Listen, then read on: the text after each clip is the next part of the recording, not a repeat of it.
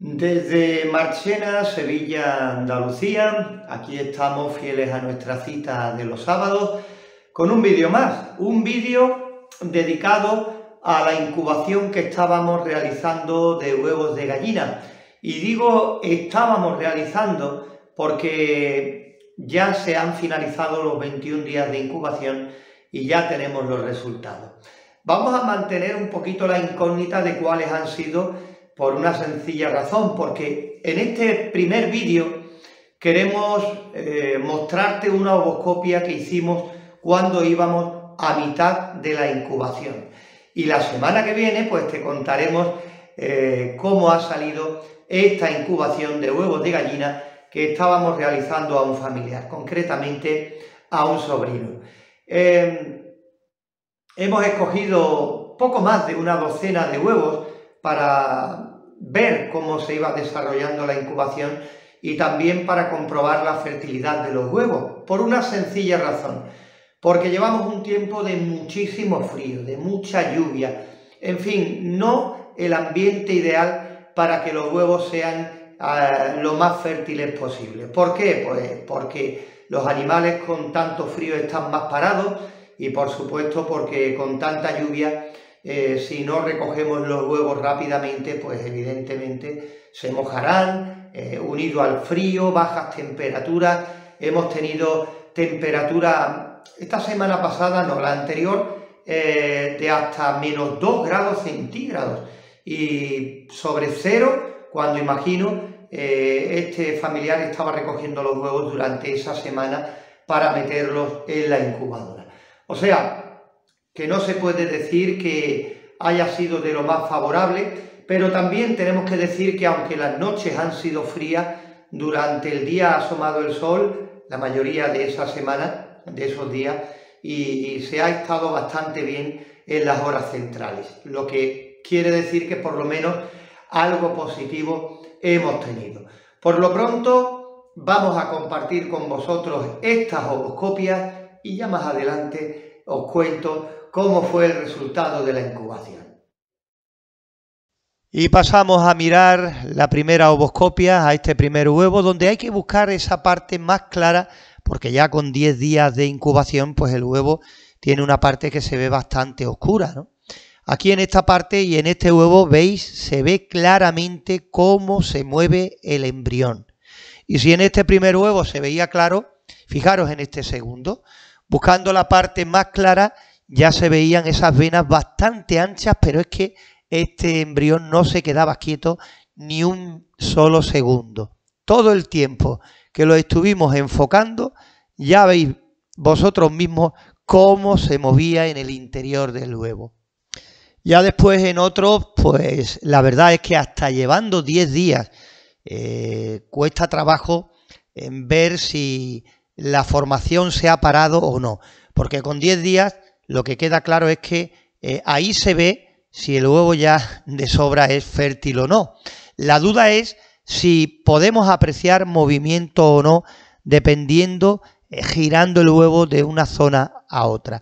En estos dos últimos, la verdad, se veía que había cierto grado de formación, pero ante la duda, pues decidimos eh, continuar con ellos dentro de la incubadora. De todas maneras, teníamos espacio y la cáscara se veía bien, pues decidimos arriesgarnos. Así seguimos mirando eh, otros huevos. Fijaros en este, está por la parte oscura y solo se aprecia la cámara de aire. Ahí pudimos ver un poquito de movimiento. Lo que ocurre es que después en las grabaciones cuesta más trabajo verlo porque no es lo mismo, creedme, verlo eh, aquí en directo haciéndola que después eh, lo que sale reflejado en la cámara. También es cierto que quizás porque no tengamos unas cámaras excesivamente buenas. Me refiero a las cámaras de nuestros teléfonos. En este sí se podía apreciar eh, bastante el movimiento en el interior. El embrión que se iba para la parte más alejada, pero que se veía rápidamente en cuanto se pegaba a la parte que nosotros estábamos enfocando. No en todo se veía claramente, esa es la verdad, pero como en todas estas ovoscopias que estábamos haciendo se veía una parte mucho más oscura y otra más clara, pues decidimos eh, dejarlos incubando todos los que seleccionamos para hacer estas ovoscopias, porque ante la duda mejor es continuar con la incubación. Seguimos cogiendo varios huevos más para tener una buena, mm, un buen porcentaje de huevos de los que había dentro de la incubadora y la verdad es que a medida que fuimos haciendo la ovoscopia salimos bastante contentos porque había una buena eh, formación en la mayoría de los huevos que, que habíamos cogido. Los sacamos de 4 en 4 o 5 para que no se enfriaran demasiado mientras eh, esperaban su turno los otros, ¿no? Porque eso no es que le vaya a pasar nada al embrión, para nada, pero sí pierde movilidad, se quedan más quietos por la bajada de temperatura y claro, nos perjudica a la hora de intentar visualizarla. Y teniendo que apostar por los que estaban menos claros, eh, no sé por qué, pero yo tenía el presentimiento de que sí si se estaba formando correctamente el pollito en el interior. En otros como en este, fijaros, bueno, aquí es que no hay ninguna duda, fijaros qué imagen, eh, cómo eh, se ve el embrión por dentro, eh, de un extremo al otro, con mucha vida, con mucha fuerza y evidentemente mucho más claro que en estos últimos que, que habíamos mirado. Y creedme si os digo que los vídeos duraban bastante más, mientras que íbamos girando el huevo para ver esa imagen óptima eh, para poder mostrarosla. Algunos tuvimos que estar ahí un ratillo eh, buscando ese, ese punto donde se pudiera ver ese movimiento que buscábamos en el huevo. estaba solo y tened en cuenta que esto lo estaba haciendo con dos teléfonos móviles. Uno en modo linterna como ovoscopio y el otro evidentemente grabando eh, con un montón de historias, ¿no? Desenfoques, eh, planos que no se veían muy bien, en fin, ya digo, un montón de historias para seleccionar estas imágenes que nos sirven para compartirla con vosotros en el vídeo de hoy. Pues ya habéis visto que las ovoscopias no pintan mal del todo, pintan muy bien, diría yo, y eso nos hace albergar esperanzas de obtener buenos resultados en esta incubación con nuestra incubadora casera. Un día de esto os la voy a mostrar porque es la que suelo tener aquí en casa. Eh, hacemos muchas incubaciones en ella, eh, nos ayuda a generar mucho contenido y os voy a contar la historia de esta incubadora que ya tiene bastantes años y ya digo, tiene su historia también de la cual creo que podemos sacar conclusiones y, experiencias para, para aplicarlas a, nuestros casos, ¿no? Eh, según vayáis viendo o vayáis necesitando. De todas maneras, como siempre digo, quiero que lo tengáis muy presente, que es muy buena señal que las ovoscopias eh, hayan mostrado lo que habéis visto. Muy buena señal.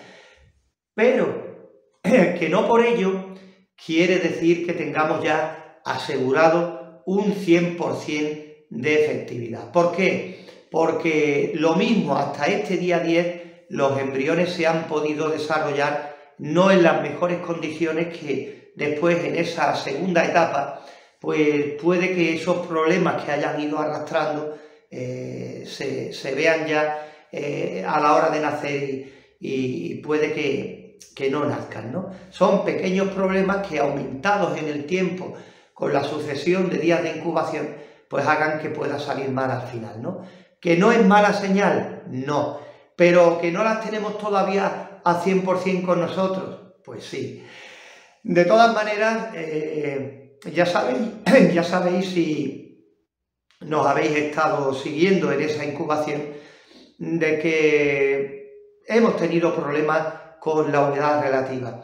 Hemos tenido que ir eh, tomando decisiones a medida que hemos ido avanzando porque nos ha cambiado muchísimo la humedad relativa de un día para otro.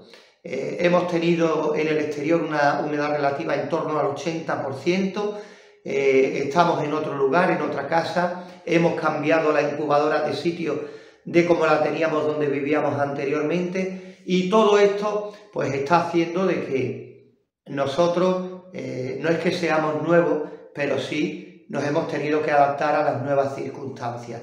Y todo esto viviendo en el mismo pueblo, en Marchena. Por eso os digo que eh, si vivimos en lugares diferentes, imaginaros lo que puede cambiar la cosa estando en sitios distintos. En más altura, en menos altura, más cerca de la costa, más lejos de la costa, más en el interior, que en el mismo pueblo, fijaros lo que os estoy diciendo, pueden cambiar y han cambiado, eh, en este caso no todos los parámetros, pero sí eh, la humedad relativa, que evidentemente es importantísima. Pues nada, en el próximo vídeo eh, hablaremos de los resultados, os contaré más detalles de cositas que hemos tenido que hacer en esta incubación, pero ya te puedo decir, te lo voy a adelantar, que dentro de todo lo que nos ha pasado, estoy muy contento con los resultados y, y os lo vamos a compartir la semana que viene, si Dios quiere, aquí en nuestro canal de incubadoras caseras. Por hoy nada más, desde Marchena, Sevilla, Andalucía, muchas gracias por estar ahí.